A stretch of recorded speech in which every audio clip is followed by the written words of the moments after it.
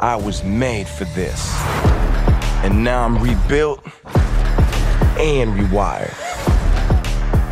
With teammates who have my back, just like I have theirs. So when I hit, cut, and scramble, my intentions are felt. I ain't playing with you.